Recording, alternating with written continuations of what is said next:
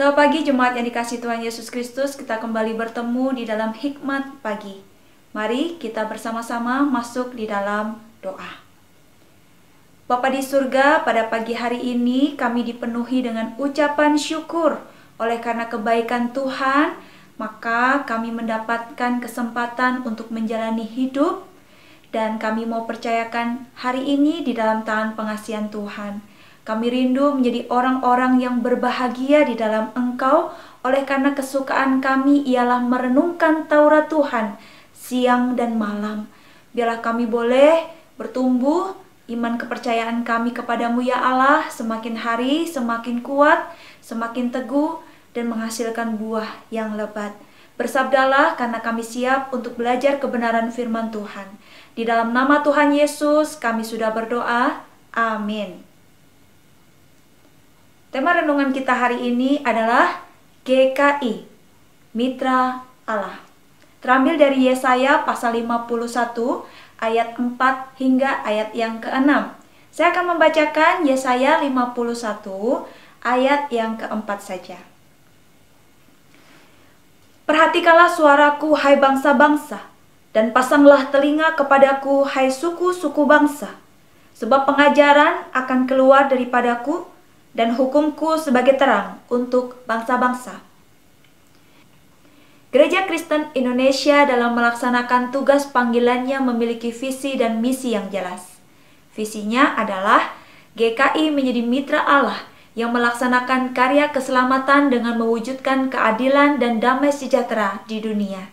Sedangkan misinya ada lima poin, yaitu yang pertama, mengembangkan spiritualitas yang berpusat pada hubungan yang hidup dengan Allah, sesama, dan lingkungan hidup.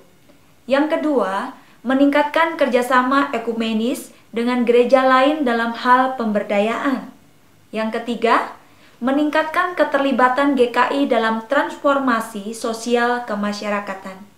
Yang keempat, meningkatkan kesadaran umat dan pimpinan gereja untuk mengambil bagian dalam pengembangan demokrasi dan penguatan masyarakat berkeadaban. Yang kelima, meningkatkan kesadaran dan partisipasi umat dan pimpinan gereja untuk mengambil bagian dalam pelestarian dan penyelamatan lingkungan hidup. Gereja Kristen Indonesia mengidentifikasi dirinya sebagai mitra Allah. Menurut Kamus Besar Bahasa Indonesia versi online, memberikan arti mitra adalah kawan kerja, pasangan kerja, atau rekan. Dalam arti tersebut, berarti GKI mengambil peran sebagai kawan kerja Allah dalam menghadirkan keadilan dan damai sejahtera di bumi. Sebagai mitra, maka GKI wajib paham akan kehendak, tujuan, perintah, dan cara Allah dalam melaksanakan karya keselamatannya.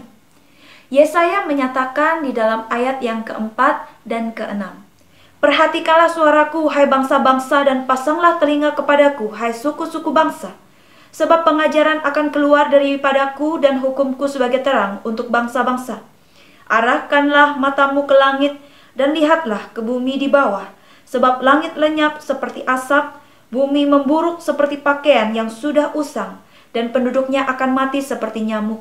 Tetapi kelepasan yang kuberikan akan tetap untuk selama-lamanya, dan keselamatan yang daripadaku tidak akan berakhir. Berdasarkan ayat tersebut, setidaknya ada dua hal penting yang harus dilakukan oleh GKI sebagai mitra Allah, yaitu yang pertama memperhatikan suara Allah, atau pasang telinga atas pengajaran dan hukum Allah. Yang kedua, mewujudkan karya kelepasan dan keselamatan Allah bagi dunia. Jika GKI sungguh-sungguh berpegang pada ketetapan dan kebenaran Allah, maka perwujudan tugas panggilan sebagai mitra Allah akan membawa dampak yang nyata bagi keselamatan dunia serta terwujudnya damai sejahtera. Amin. Mari kita berdoa. Bapa di surga, kami bersyukur Tuhan berkenan memakai GKI, Gereja Kristen Indonesia, sebagai mitra Allah, rekan sekerja Allah di tengah dunia ini. Kami sungguh rindu keberadaan GKI boleh mewujudkan tugas dan panggilanmu ya Tuhan, sehingga keberadaannya boleh memberikan dampak yang baik dan mewujudkan keselamatan bagi dunia ini dan damai sejahtera di dalam Tuhan Yesus Kristus. Inilah segala harapan dan kerinduan kami dan kami juga percayakan kehidupan kami dan segala aktivitas kami sepanjang hari ini hanya di dalam tangan pengasihan Tuhan Yesus yang sempurna. Di dalam nama Tuhan Yesus Kristus kami sudah berdoa. Amin. Selamat pagi, selamat berkarya. Tuhan Yesus memberkati.